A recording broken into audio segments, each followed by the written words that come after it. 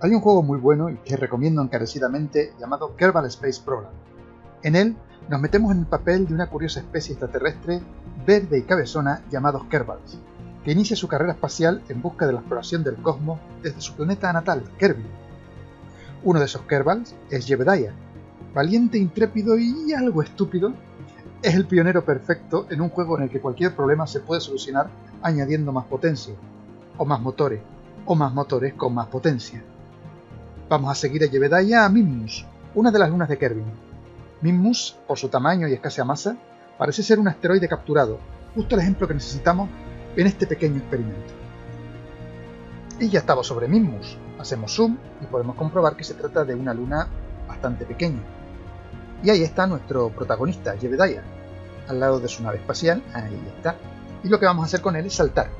Saltar sobre la superficie de esta luna, con poca gravedad y ninguna atmósfera, y ver qué trayectoria sigue su salto. Cogemos un poquito de impulso y ya, allá va. Y podemos comprobar que la trayectoria que sigue, creadme, es una trayectoria parabólica. Esta que se da durante el bachillerato, que se estudia y que tienen que estudiar los militares durante toda su vida. Bueno, Jebediah cae y ahora vamos a hacer el problema un poquito más complicado. En vez de dar un pequeño salto, vamos a meterle más energía a dicho salto. Como Jebediah es un Kerbal no tiene limitaciones físicas, vamos a sobreponerla con un motor, o en este caso con cuatro motores, en nuestra pequeña nave espacial. No es un impulso eh, instantáneo como el salto, sino un impulso un poquito más continuo, el de los motores, pero el resultado va a ser similar.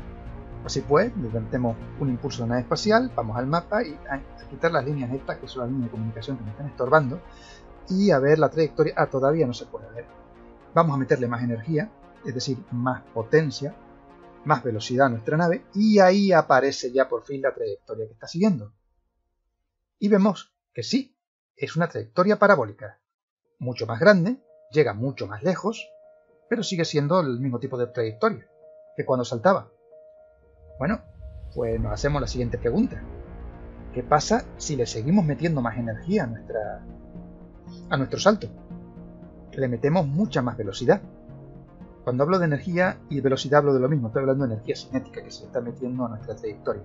Así pues, colocamos nuestra nave en posición y le seguimos metiendo potencia a nuestro salto, por decirlo de alguna manera.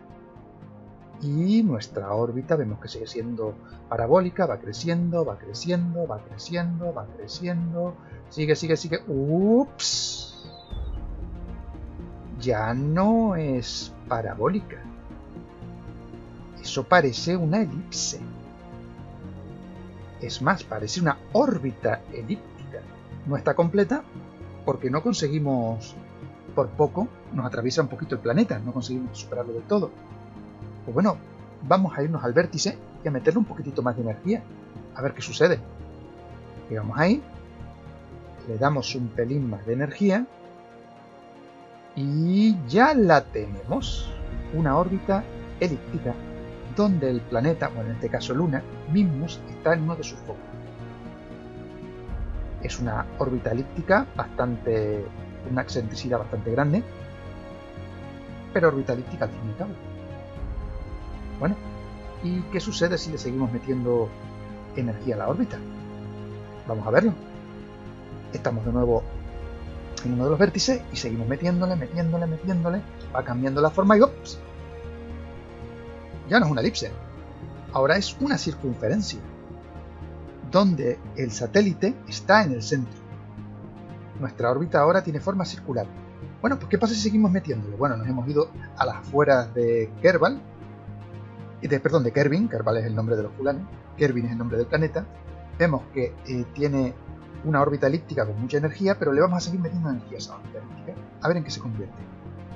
Vaya, ahora aparece una parábola, y si seguimos metiéndole, pues la parábola se va abriendo, se va abriendo, a medida que seguimos introduciendo energía, aumentando la velocidad de la nave, la parábola se va abriendo y, y creo que ya tenemos una hipérbola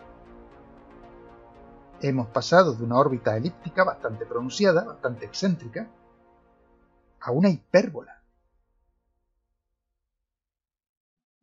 Pues como hemos visto, tendremos diferentes tipos de trayectorias dependiendo de la velocidad que le imprimamos a la nave.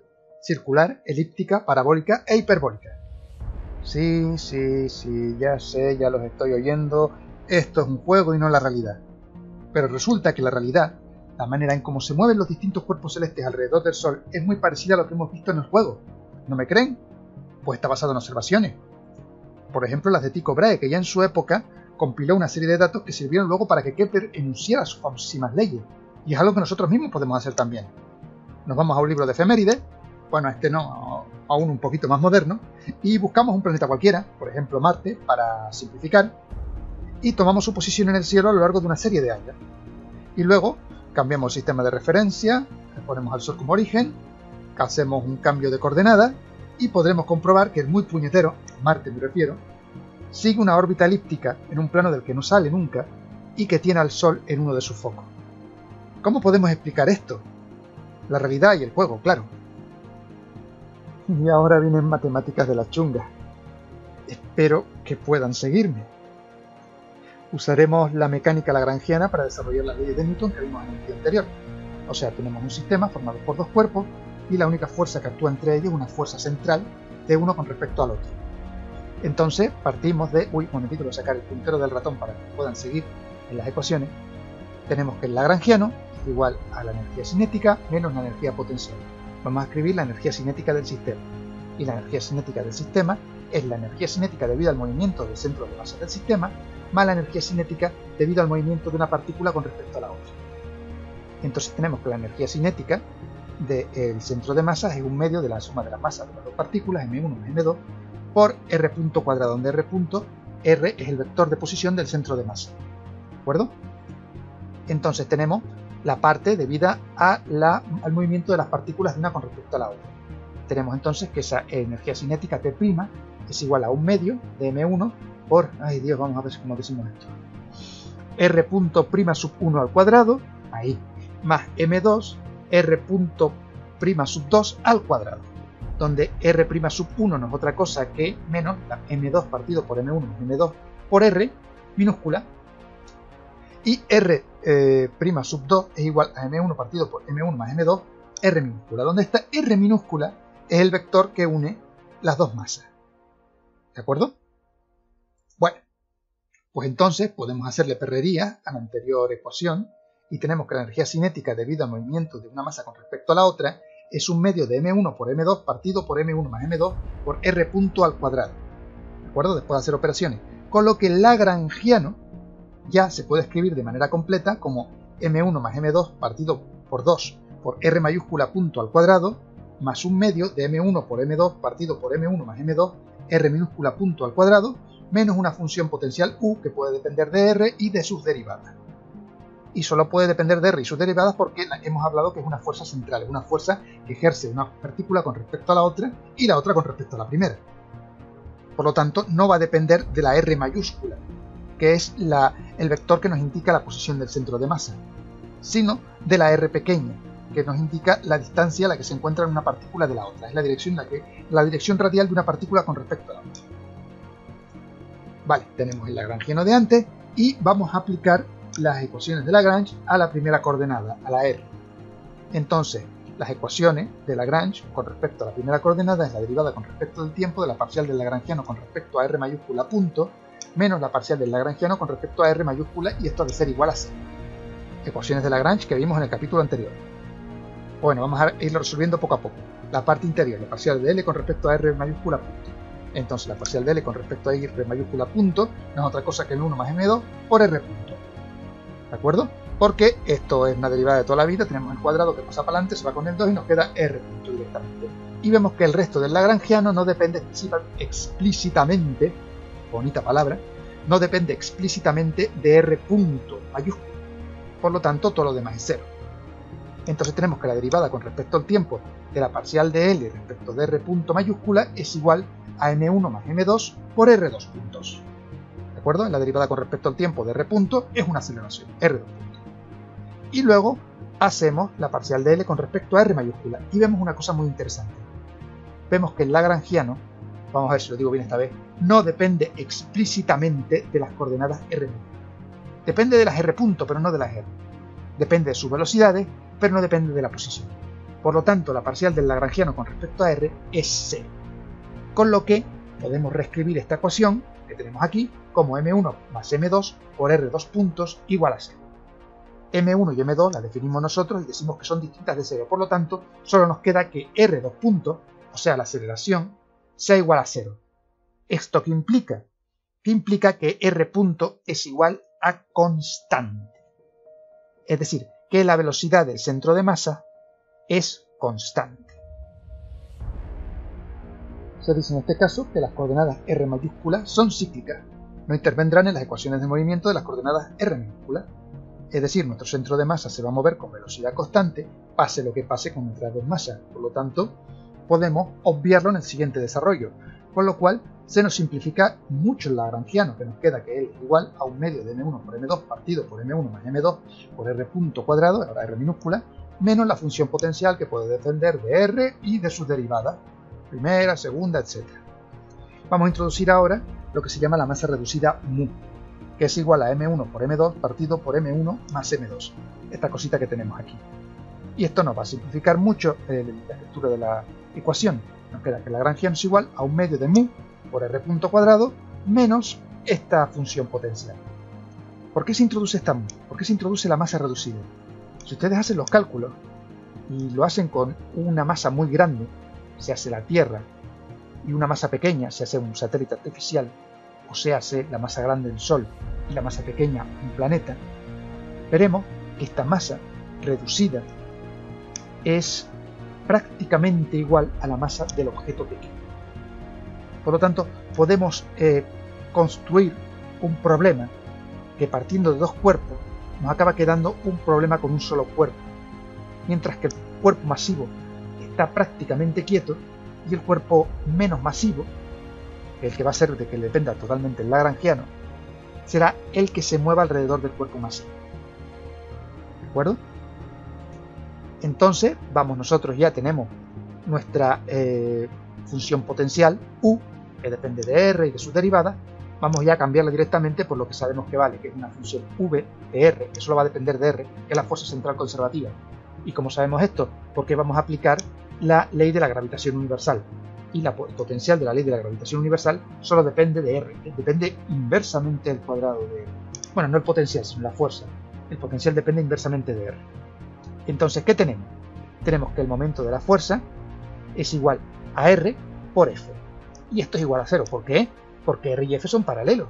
Es decir, la fuerza que van a sufrir cada uno de los objetos, o en este caso nuestro objeto de masa reducida mu, va a ser siempre en la dirección en la que se unen los dos objetos, nuestros dos cuerpos.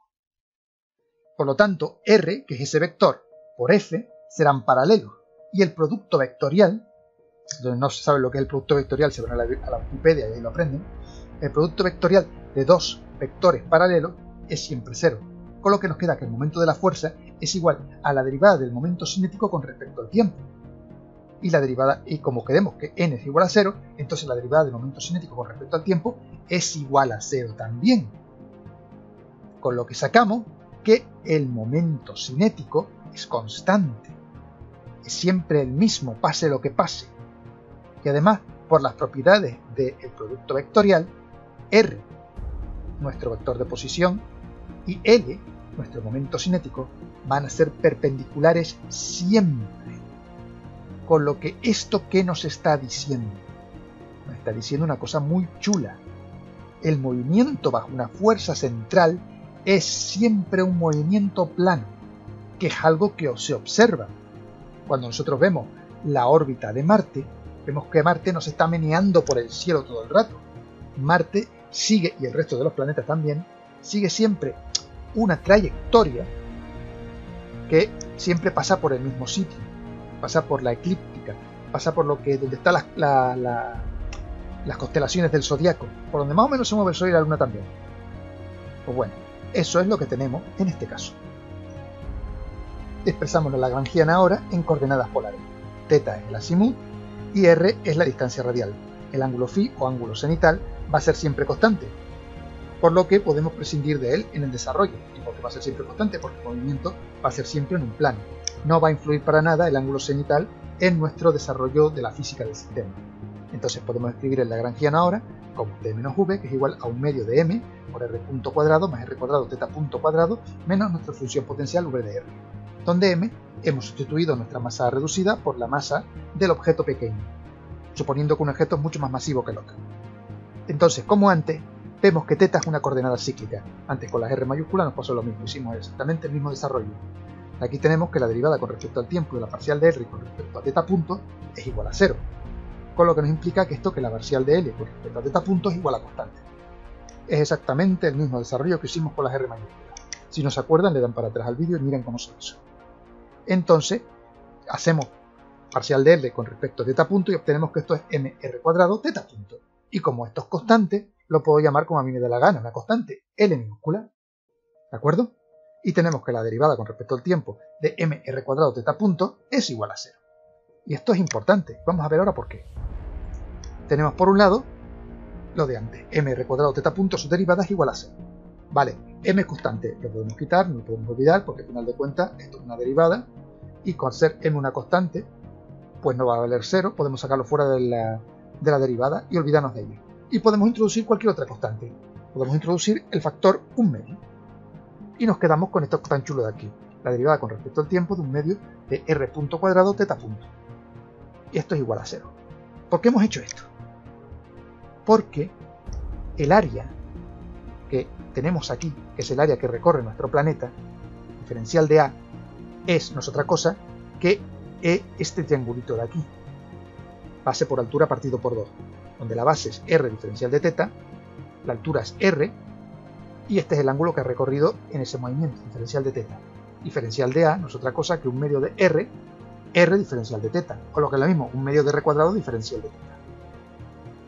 Entonces la derivada de a con respecto a tiempo es un medio de r cuadrado diferencial de teta con respecto al tiempo. Y diferencial de teta con respecto al tiempo es teta punto. Por lo tanto, y la derivada de a con respecto al tiempo es a punto. La velocidad areolar a punto es igual a un medio de r cuadrado de teta punto. Esto que implica que a punto la velocidad areolar es constante. Esto no es otra cosa que la demostración de la segunda ley de Kepler del movimiento planetario el radiovector barre áreas iguales en tiempos iguales. Qué chulo, ¿verdad?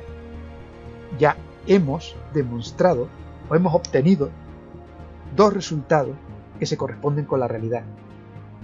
Uno enunciado por Kepler al observar el movimiento de los planetas, que el radiovector eh, barre áreas iguales en tiempos iguales, que vemos aquí, y el que el movimiento siempre es en un plano vamos a obtener ahora la ecuación de Lagrange para la coordenada que nos falta, la coordenada r.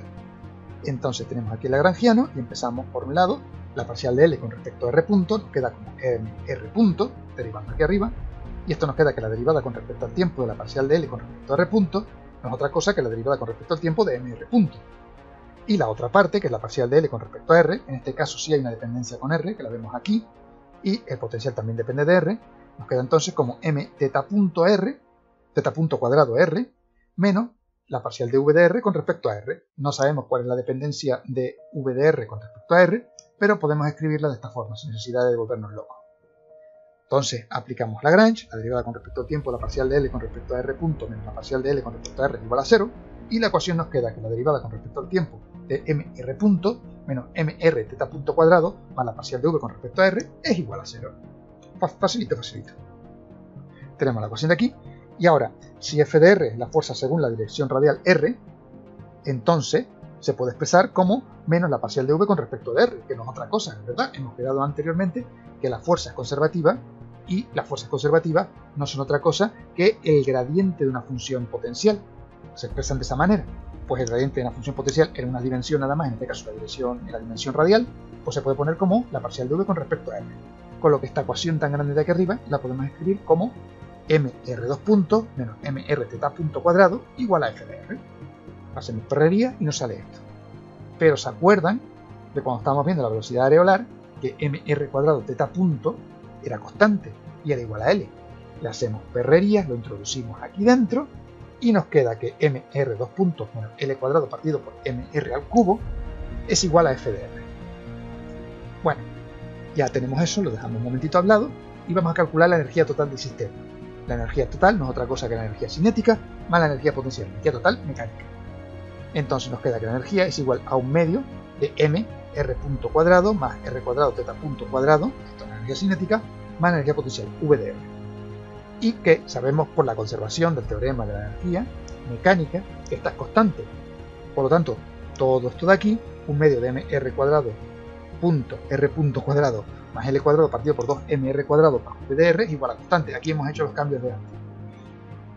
Hemos introducido l cuadrado y tal y cual y nos ha quedado de esta manera. Todo esto es constante. ¿De acuerdo?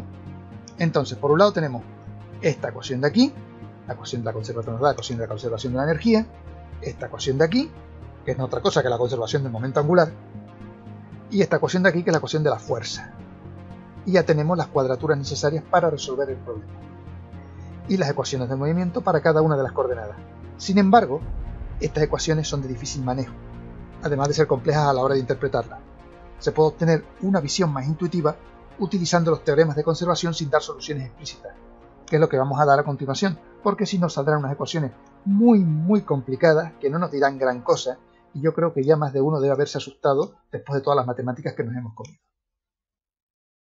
Vamos a ver hasta dónde nos lleva este método intuitivo. Por un lado tenemos que la fuerza, FDR, es igual a mr 2 puntos menos l cuadrado partido por mr cubo. Podemos definir entonces una llamada fuerza ficticia, F', que será igual a F más L cuadrado partido por mr cubo. Lo único que hemos hecho es despejar mr 2 puntos, que no es otra cosa que masa por aceleración, y llamar a eso fuerza ficticia.